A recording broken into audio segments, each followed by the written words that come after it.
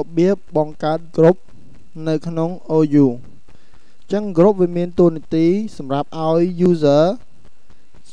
add user ជា member របស់ group នីមួយៗទៅតាម department អញ្ចឹងការបង្កើត group គឺយើងបង្កើតនៅក្នុង Active Directory អញ្ចឹងខ្ញុំជ្រើសរើស OU marketing មួយមកក្រោយមកខ្ញុំចាប់ផ្ដើមបង្កើត group group ក៏ខ្ញុំអាច click លើនេះតំណាងរូប icon មនុស្សពីរឬខ្ញុំ right click លើនេះជា new group ចឹងក្នុង group កន្លែងនេះគឺយើងដាក់ឈ្មោះ group មកខ្ញុំដាក់ថា group ខាង marketing ហ្នឹងទៅ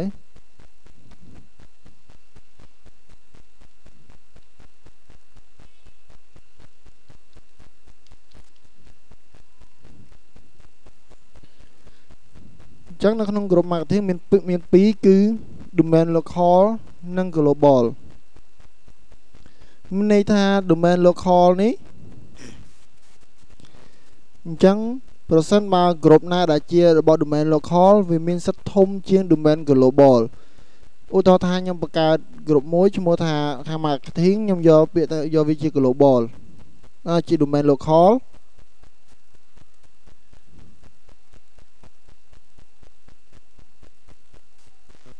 ហើយខ្ញុំបង្កើត group មួយទៀត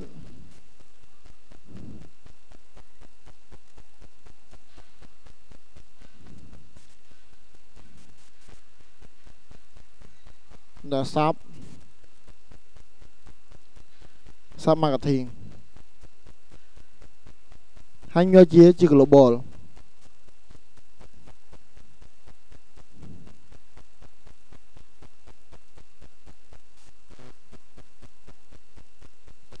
អញ្ចឹង G marketing នេះខ្ញុំយកជា domain local ហើយ G sub marketing នេះខ្ញុំយកជា global អញ្ចឹងខ្ញុំអាច add add ឲ្យ add ឲ្យ group global នេះអាចជាសមាជិករបស់ domain local ប៉ុន្តែ domain local មិនអាចជាសមាជិករបស់ global បានទេឥឡូវខ្ញុំសាកល្បងបង្កើត user ឬក៏ខ្ញុំ add user យកតែម្ដងមកឧទាហរណ៍ថាឥឡូវនៅក្នុង domain global នេះខ្ញុំចាប់ដើម add add user ចូលឧទាហរណ៍ខ្ញុំ add user e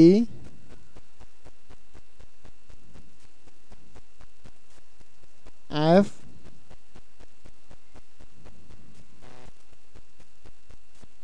ហើយនឹង G ខ្ញុំ add user 3ហ្នឹងអញ្ចឹង user 3ហ្នឹងវាជាសមាជិកឬក៏ជា member របស់ G sub marketing ដែលជា global ចឹងនៅក្នុងកន្លែង member of នេះមិនថាវាជា member បងនរណាម្នាក់ទៀតចឹងខ្ញុំអត់តនិយាយទេគឺខ្ញុំអូខេចឹងនៅក្នុង group global នេះគឺវាមាន user 3នាក់គឺ E G F ឥឡូវខ្ញុំចុចទៅលើនៃ group marketing ដែលជា domain local នេះវិញ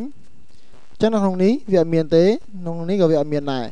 ចឹងនៅក្នុង member នេះខ្ញុំអាច add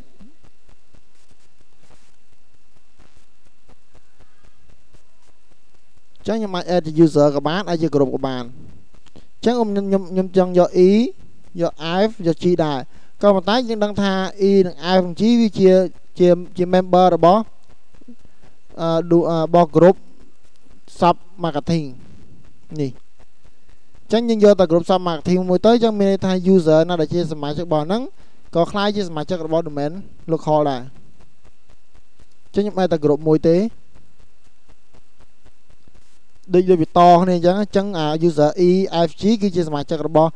G sub marketing ហើយ G sub marketing គឺជា member របស់ G marketing ដែលជា domain local ឥឡូវខ្ញុំចូលទៅក្នុង G marketing នេះវិញហើយខ្ញុំមើលលើ member EFG ហើយបើ member of មិនថាវាជា member របស់អ្នកណាម្នាក់ទៀតគឺវាជា member របស់ G marketing អញ្ចឹងនៅពេលដែលខ្ញុំបង្កើតនៅពេលខ្ញុំបង្កើត folder មួយតោះមកខ្ញុំ share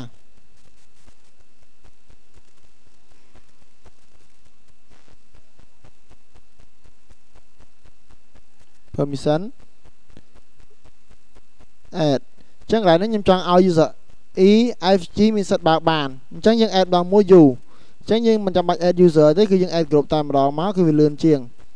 អញ្ចឹងក្នុងនោះមាន group ទាំងអស់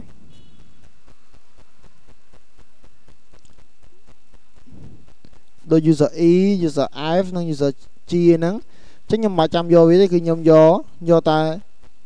G marketing នេះមួយមកបានតែ group នេះមួយទៅអញ្ចឹងអ្នកណាជាជា member របស់វាគឺទៅទៅបានអត់មានសិទ្ធិបើកទាំងអស់ចឹងនេះយើងដឹងហើយ permission គឺមេរៀនទៅមុខគេមាននឹងនិយាយ